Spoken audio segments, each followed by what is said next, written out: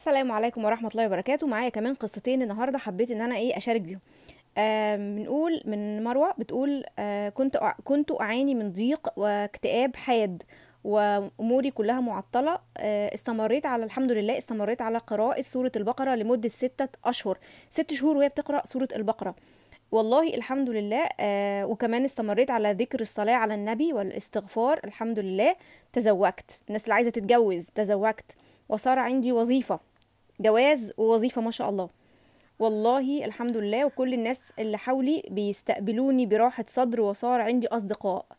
آه، يسألونني آم، يسألون عني بقى عندي أصحاب يسألون عني والحمد لله. وبعد ما توظفت آه، كتب لي آه، كتب لي فروقات والحمد لله والسلام عليكم ورحمة الله وبركاته. أعتقد آه، ممكن تكون حوافز أو أو شيء يعني. معانا آه، هنا كمان بتقول السلام عليكم أريد أن أحكي لكم سرا.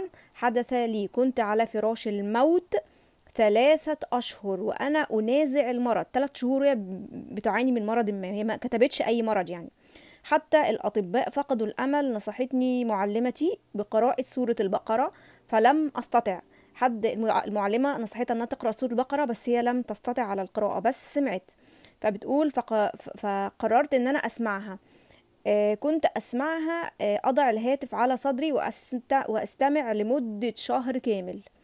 كان الفرق واضح تحسنت كثيرا وخرجت من المستشفى الحمد لله.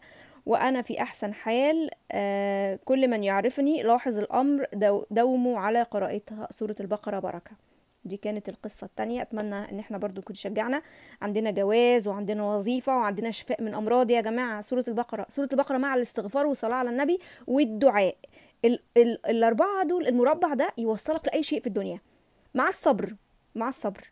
والإيمان المطلق بإن ربنا إن شاء الله هيديك الحاجة اللي أنت عايزها. السلام عليكم ورحمة الله وبركاته. أختكم في الإسلام رانيا الجندي. سلام عليكم.